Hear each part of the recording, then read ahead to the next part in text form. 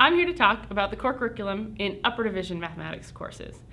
We're pretty comfortable asking our students to grapple with the core questions in their core classes. And what I found is that many times, once they get to their upper division classes, they think they're done.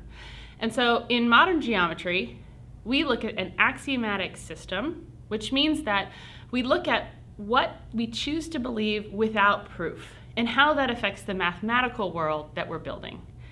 And so in order to tie that to the core, my students write This I Believe essays. And it's based on a 1950s program. And they look at the website, thisibelieve.org, and then they write an essay. And it's based on one of their core beliefs. It has nothing to do with mathematics. Um, they write about things like I believe in home, and I believe in serving, I believe in teaching, I believe in helping others.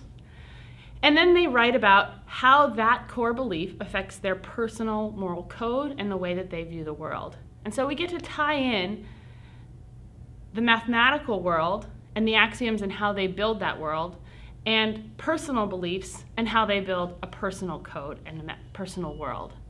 And so it's really a great opportunity to tie the core to an upper division curriculum, especially for students who may have forgotten that they were supposed to be grappling with the core questions.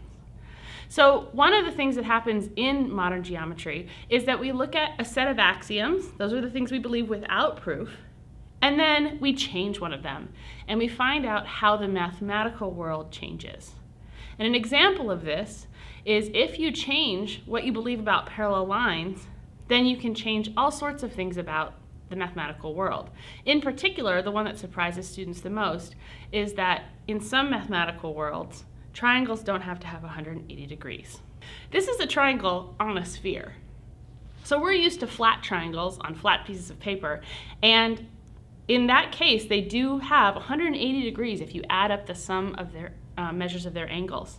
But on a sphere, this is a triangle. We take three points, the blue dot, the green dot, and the red dot, and we connect them with lines, which are the shortest distance between those points.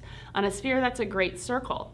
Students are usually surprised that we can do this and that it even could possibly measure the world, except we do actually live on a sphere. So it's not unreasonable to think that this might be a triangle on a sphere. And if you look at the angles, they're all right angles. And so if you add up the degrees in this triangle, it's 270. This all comes from just changing one axiom. Because we can do that, it leads us to a nice discussion about what happens if you change one of your personal beliefs and how does that change the way you interact with the world. So the This I Believe essay comes up again in a discussion about who am I and how do my personal beliefs affect the way that I interact with the world.